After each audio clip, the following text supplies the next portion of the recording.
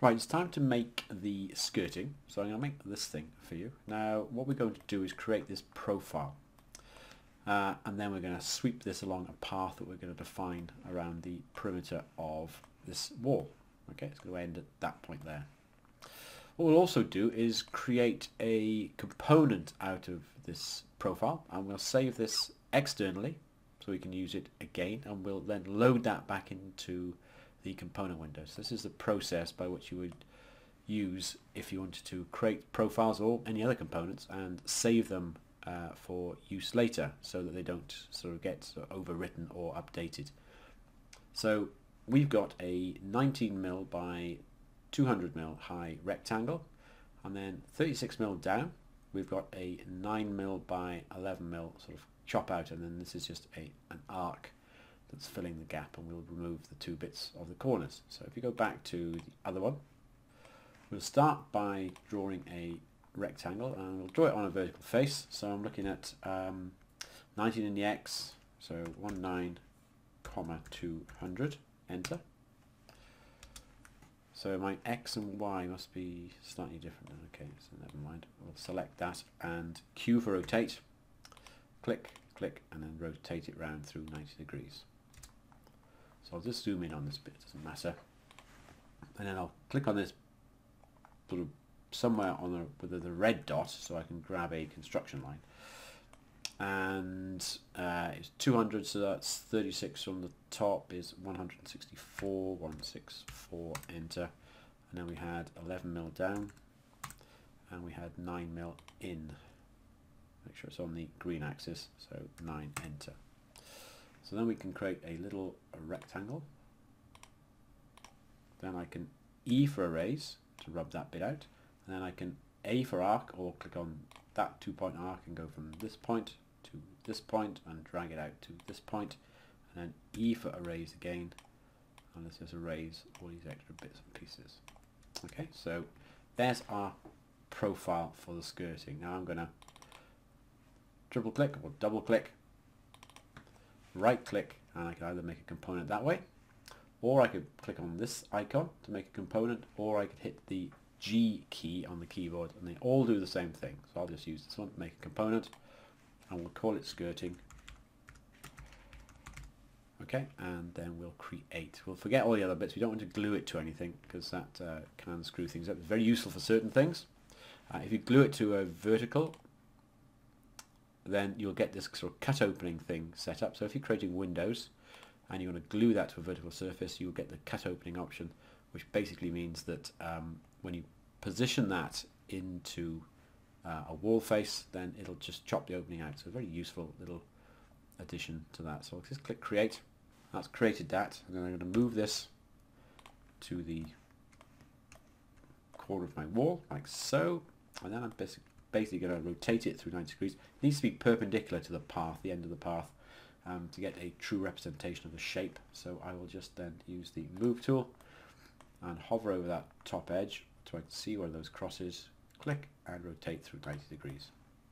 Excuse me, I'm very bunged up at the moment, so I'll just move that out and put that there. Then I'll create my path. So and before I sort of create my skirting I'm going to save the profile out to an external folder. So I'm just moving a line around here. Right so that component will be in my um, in model components. So I'm looking for if I just purge unused just to clean out basically what I've got because I've stripped this back and there's lots of other stuff. This is a previously sort of stripped back version of an existing um, fully finished thing. So I've got a lot of components in there that I, don't need for the purposes of this.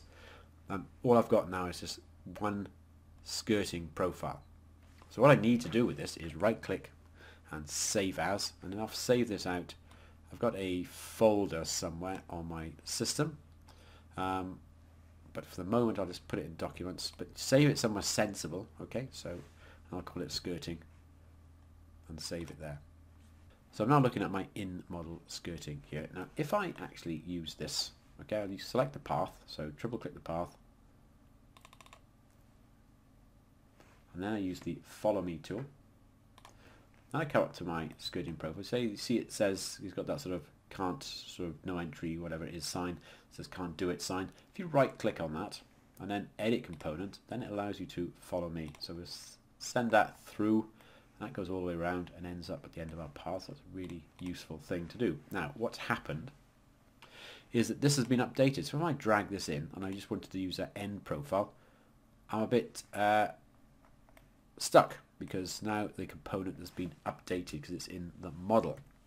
So what I need to do is to click on this little details icon and open or create local collection.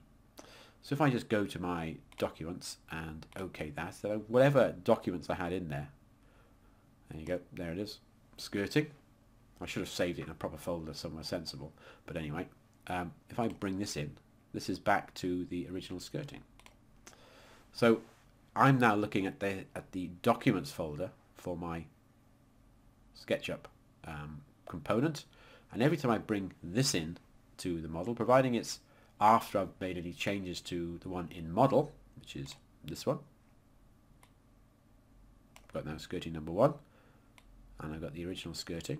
See how they change? If I make a change to this, then the skirting number one is going to update.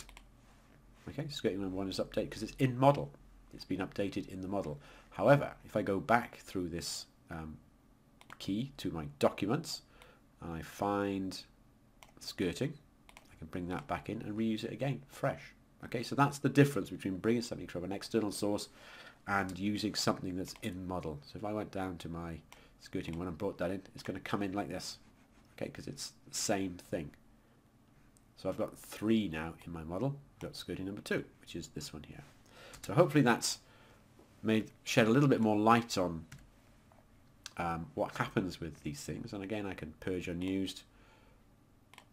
So I'll only be having skirting and skirting 2 in the model. What I'm going to do now is move this uh, around through 90 degrees and also I'm going to rotate it through uh, this direction. And I'm going to pick it up in the corner, position it up here in that corner now I could use follow me again, but as it's just a simple push-pull, then I can double-click and push-pull, and I can use that auto sort of track method that SketchUp has, and I can just sort of line up with this face, and I am done with that. Okay, so that's put my skirting in.